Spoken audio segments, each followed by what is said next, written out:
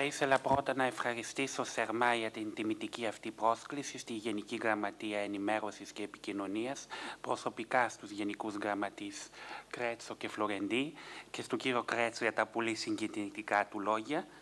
Ε, εγώ θα σας μιλήσω λίγο για το κεντρικό βιβλίο που θα παρουσιαστεί στην Αλεξάνδρεια με την ευκαιρία των Καβαφίων, επειδή πρόκειται για έργο που έχει εκδοθεί στη Ρουμανία, στο Βουκουρέστι, στις εκδόσεις Ομόνιου. Το ποιητικό αλφάβητο είναι πρώτα δείγμα του έντονου φιλελληνισμού που επικρατεί στη Ρουμανία. Θα σας πω εν συντομία την ιστορία του, επειδή είναι χαρακτηριστική για το πνεύμα αγάπης και σαυμασμού για τον ελληνικό πολιτισμό. Ένας καθηγητής της Λατινικής Γραμματείας και λογοτέχνης, λέγεται Λίβιο Φράγκα, ευχαριστιέται να διαβάζει όχι μόνο τους αρχαίους λυρικούς που έχουν επηρεάσει τόσο τους Λατίνους ποιητές, αλλά και τους συγγραφείς της νεότερης Ελλάδος και ερωτεύεται με το έργο τους και πρωτίστως με εκείνο του Καβάφη, με το οποίο ο κλασικός φιλόλογος αναπτύσσει τόσο εύκολα οικειότητα. Δεν θέλει όμως να κρατήσει αυτό τον θησαυρό για τον εαυτό του και μόνο, αλλά να το μοιραστεί με τους φοιτητές του, με τους Ρουμάνους, με όλους τους αναγνώστες της Ιφιλίου. Θέλει να τους κάνει να ανακαλύψουν όχι μόνο τον Καβάφη, αλλά και την ίδια την ποίηση με κεφαλαίο γράμμα σε έναν πραγματιστικό, ωφελημιστικό κόσμο που δεν βρίσκει χρόνο για ονειροπόληση και στοχασμό. Βασίζεται όμως στην πεποίθησή του ότι η ποίηση ανταποκρίνεται σε μια εντομήχια ανάγκη του ανθρώπου όσο απασχολημένος με βιοποριστικές δραστηριότητες και αν ήταν αυτός. Γι' αυτό το λόγο ο καθηγητής Φράγκα επέλεξε μετά από αλλεπάλληλες αναγνώσεις 24 ποίηματα του Καβάφη που αποτελούν όχι μόνο την πεμπτουσία του έργου του Αλεξανδρινού, αλλά επιτρέπουν και ένα μυητικό ταξίδι στον κόσμο της ποίησης. Έχουμε τα κεριά, τα παράσυρα, εκόμισα για την τέχνη κτλ. Πρόκειται βέβαια για μια προσωπική υποκειμενική επιλογή, η οποία θα έκανε να γκρινιάζει τον ένα ή τον άλλο καβαφολόγο, αλλά η οποία δεν μπορεί παρά να σαγηνεύει τον αναγνώστη που πλησιάζει για πρώτη φορά το έργο του Αλεξανδρινού αφού δυστυχώς μετά, από την, μετά το τέλος της ελληνιστικής περίοδου η ελληνική γλώσσα δεν είναι πια οικουμενική, ο κ. Φράγκα σκέφτηκε να μεταφραστούν τα ποίηματα του Καβάφη σε άλλες γλώσσες.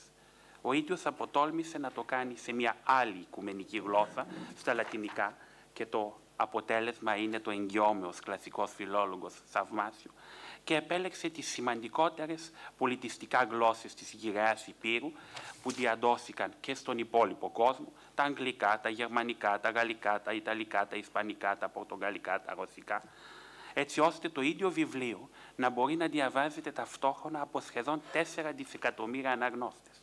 Μοναδική επίδοση, έτσι δεν είναι; Μερικές από τις αναχείρα μεταφράσεις είναι κλασικές, καθιερωμένες, του Φίλιπ Σέρλ στα αγγλικά, του Μίγελ Καστίο Διντιέ στα Ισπανικά, τη Σόνια Ηλίνσκα στα Ρωσικά, ενώ άλλες έγιναν ειδικά για τον τόμο αυτό από διάσημους σύγχρονους ελληνιστές, όπως είναι ο Ζακ Μπουσάρ που μετέφρασε τα ποίηματα του Καβάφη στα γαλλικά, ή η Παόλα Μαρία Μινούτσι, στην οποία οφείλουμε την Ιταλική μετάφραση και προκειμένου να κάνει πιο προσιτά τα καβαφικά κείμενα, ο καθηγητής Φράγκα συνέταξε ένα εκτενές προήμιο, 55 συμβατικές σελίδες, με το οποίο εισάγει τους αναγνώστες στην ευρύτερη προβληματική του καβαφικού έργου.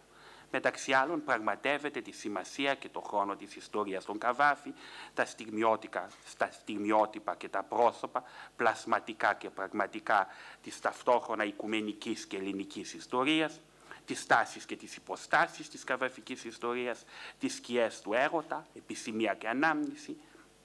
Δεν συνεχίζω. Δεν το κάνει όμως ποτέ ως καβαφιστής, αλλά ως κλασικός φιλόλογος, φέρνοντας έτσι μια νέα φρέσκια ματιά σε χιλιομελετημένα θέματα. Τα επίδοξα σχέδια του καθηγητή θα παρέμεναν ένα σωρό χαρτιά κρυμμένα σε σιρτάρι, αν αυτός δεν είχε την έμπνευση να απευθυνθεί προς την κυρία Ελένα Λάζαρ, είναι πρέσβυρα του ελληνισμού και διευθύντρια των εκδόσεων Ομόνια. Έχει τιμηθεί μάλιστα από τον, από τον ε, τέος πρόεδρο της ελληνικής δημοκρατίας με το ταύμα της ευποιίας.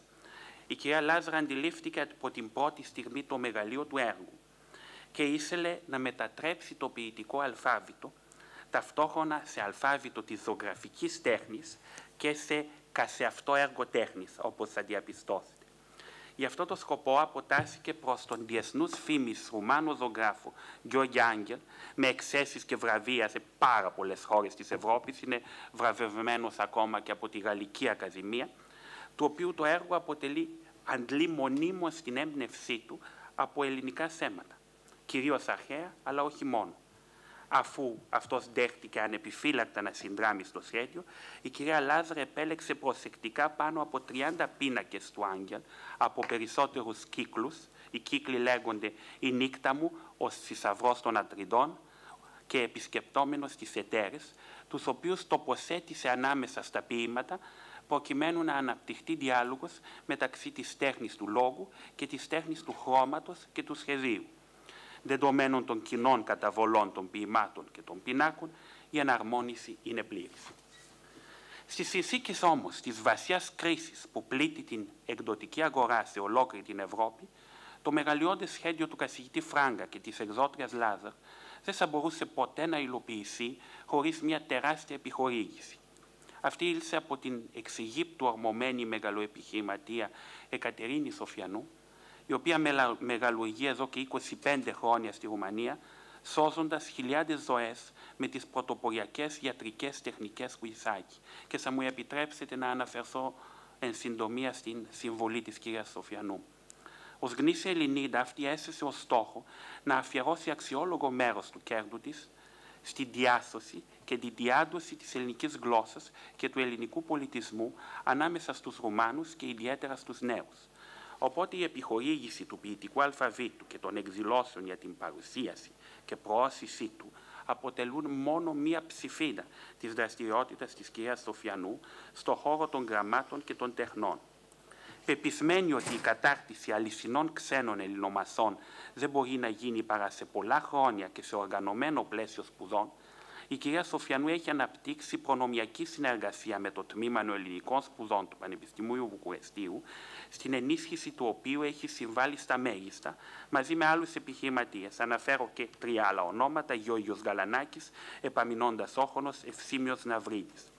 Οι υποτροφίες που προσφέρουν αυτοί σε συνδυασμό με τις προσπάσεις των διδασκόντων έχουν εξασφαλίσει την αυξημένη προσέλευση φοιτητών στο τμήμα, συγκεκριμένα στο πρώτο έτος του προπτυχιακού προγράμματος ελληνικής φιλολογίας ενεγράφησαν φέτος 30 φοιτητές.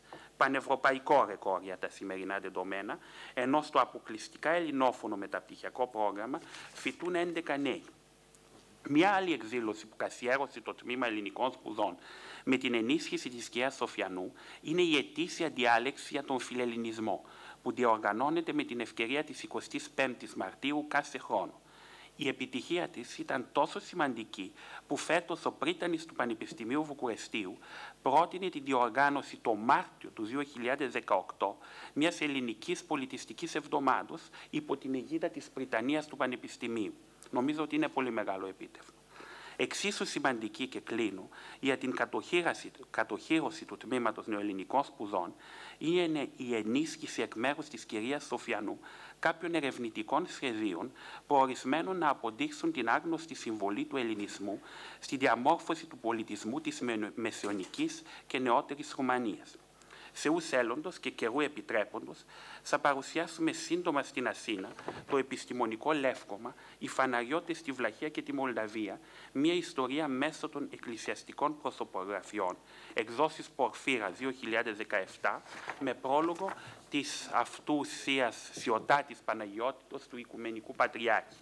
Μόνο ένα λεπτό να σας, ε, για να πάρετε μια ιδέα της συμβολής της κυρίας Σοφιανού, αλλά και αυτού του έργου που παρουσιάζει ιδιαίτερο ενδιαφέρον, να σας διαβάσω μία παράγραφο που βρίσκεται στο οπιστόφυλλο του βιβλίου. Μέχρι σήμερα η πλειοψηφία των φαναριωτών που κυβέρνησαν μεταξύ 1709 και 1821 στις ρωμανικές ηγεμονίες και δημιούργησαν εκείνες τις προϋποθέσεις για την αναβίωση του χριστιανικού πολιτισμού στα Βαλκάνια, γεγονός που κατέστη δυνατή την Επανάσταση του 1821 και το σχηματισμό του σύγχρονου ελληνικού κράτους, μας ήταν γνωστή μόνο από μεταγενέστερες προσωπογραφίες, τις περισσότερες φορές καλλιτεχνικό προϊόν καθαρής φαντασίας. Χάρη στη μελέτη του καθηγητή Ντίνου στους ανασηματικούς πίνακες σε πάνω από 230 εκκλησίες που βρίσκονται σε όλα τα μήκη και πλάτη της Βλαχίας και της Μολδαβίας, ο κόσμος του φαναρίου και των ρουμανικών χωρών της εποχής αναβιώνει τώρα κατά ανέλπιστο τρόπο. Στις σελίδες του λευκόματος αυτού μας υποδέχονται τόσο τα πρόσωπα κάποιων εκ των πρωταγωνιστών της ιστορίας, ηγεμόνες, μεγαλειβοιάροι, αρχαιρείς, όσο και εκείνα κάποιων μικροαρχόντων, στρατιωτών, εμπόρων, μαστόρων, μικροκτημόνων, βοσκών κληρικών κατώτερης βασμίδας, οι οποίοι επιδεικνύουν με περηφάνεια στα μάτια των απογόνων τις πιο όμορφες φορεσιές, τα κοσμήματα και τα όπλα, ακόμα και τις κομμώσεις τους. Η παρουσίαση των ανασηματικών πινάκων συμπληρώνεται με σχετικές ιστορικές πληροφορίες που συλλέκτηκαν προσεκτικά από τις γραπτές πηγές της εποχής, εξασφαλίζοντας έτσι μια όσο το δυνατόν πιο ολοκληρωμένη εικόνα της κοινωνίας του 18ου ε, αιώνα.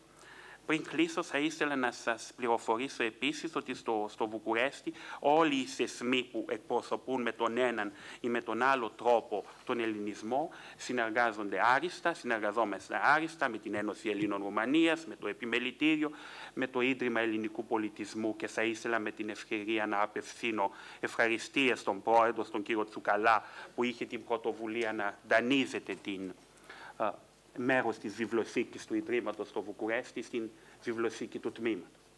Ευχαριστώ και πάλι.